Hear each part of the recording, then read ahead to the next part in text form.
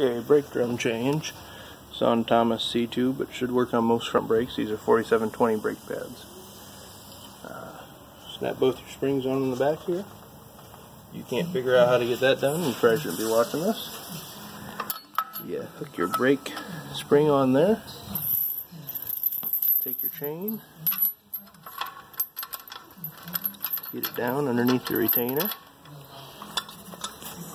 Grab that chain hook it right on the spring. Pull the chain tight. Grab yourself a pry bar. A little difficult to do single-handedly. Give it a good. Hey, sorry about that. Drop the phone. Give yourself a nice little hook to hook it onto. Give it a quick pop.